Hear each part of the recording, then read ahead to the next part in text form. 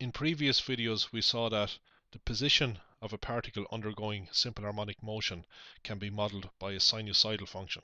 A sinusoidal function has the form a sine of omega t plus phi, or if you like, a cos omega t plus phi. A, omega, and phi are constants, they don't change. We saw that for the case of a mass on a spring, omega is given by the square root of k over m, or k is the spring constant. We've been talking about masses on springs, but there are other situations that can be modelled by simple harmonic motion. In those cases, k would not would mean something quite different. Let's look at the position of this mass as a function of time. So here the mass is in its equilibrium position. We're going to look at its position or displacement.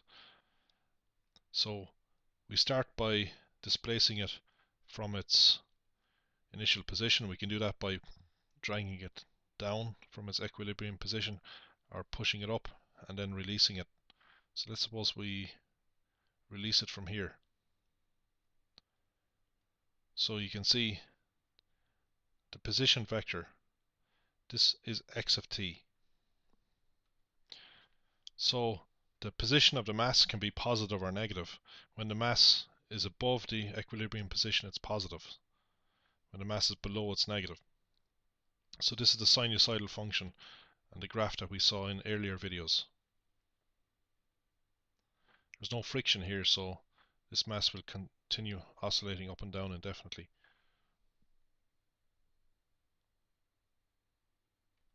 So x of t is really a vector.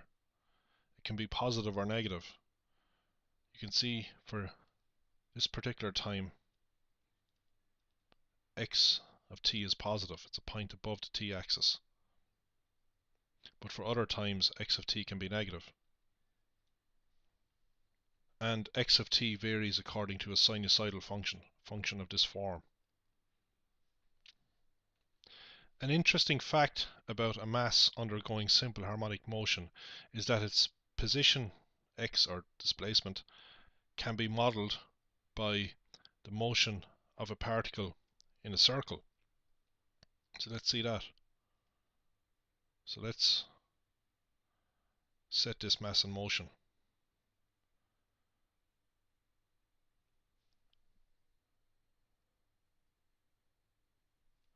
This point on the circle is moving with constant speed. So we're talking about uniform circular motion here. The speed is uniform. Of course, the speed of the mass is not uniform. The mass is accelerating. Speed is um, changing all the time. Of course, the point on the circle is also accelerating because it's changing direction, but its speed is constant. So here I have frozen the motion at a particular instant. I have frozen the motion of the mass when the mass is at its maximum displacement from the equilibrium position. This maximum displacement is known as the amplitude of the motion. It's A in the formula for x. In earlier videos I explained to you that sine function lies between minus 1 and plus 1. So a times this sine function lies between minus a and plus a. It's actually the height here is a.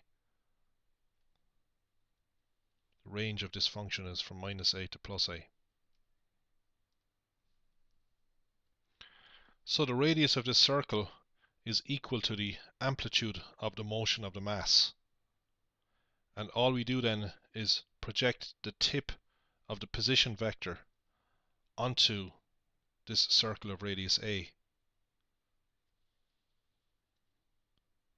And as the tip of the position vector moves up and down, you can see that we have a point on a circle undergoing uniform circular motion in a circle of radius a, radius equal to the amplitude of this mass. Let's see the connection between the simple harmonic motion of this mass and the uniform motion of this point on a circle of radius a. Well, we know that this vector here has a magnitude of a. This vector here is actually the position vector of the projection of this point onto the circle of radius a. We saw in the applet that this vector of radius a rotates with constant angular velocity. We know that the position vector of the mass is called x of t. We can construct a right angled triangle with this line as hypotenuse.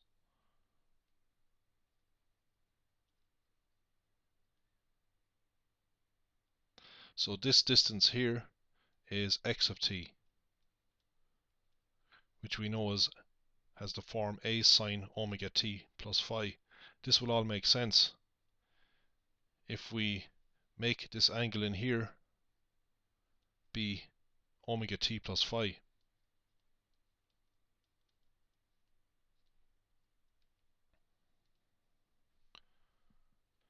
By basic trigonometry, the sine of this angle is the side opposite this angle, which is x of t, divided by the hypotenuse, which is a. In other words, the side opposite omega t plus phi is a multiplied by the sine of omega t plus phi. a sine omega t plus phi is indeed x of t, so that much makes sense. Now we want to see how this angle is changing with time. Is it changing uniformly with time? To do that, we have to get the derivative of this angle with respect to time?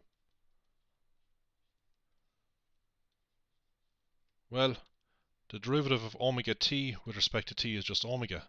We just have a constant times t. The derivative of phi with respect to time is zero. So the rate of change of this angle with respect to time is constant. And the constant is omega. So every second omega radians are swept out. So we've an angular speed of omega radians per second. So we have a point moving with constant angular speed omega.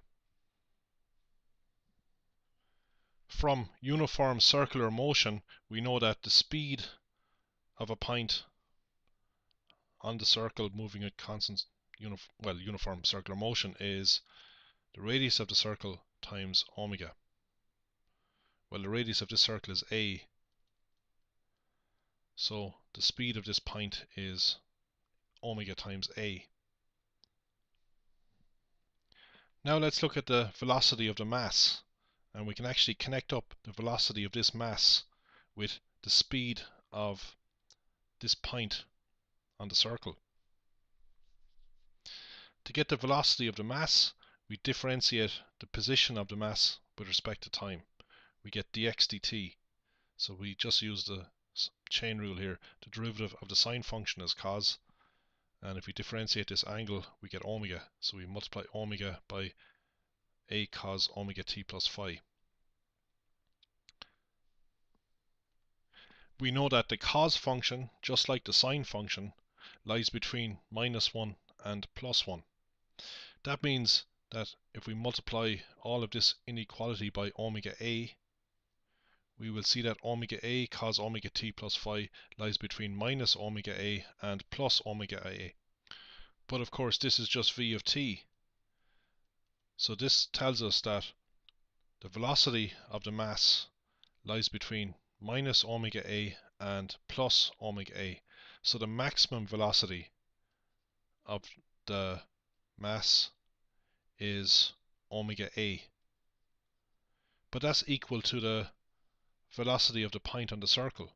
The point being the projection of the tip of the position vector.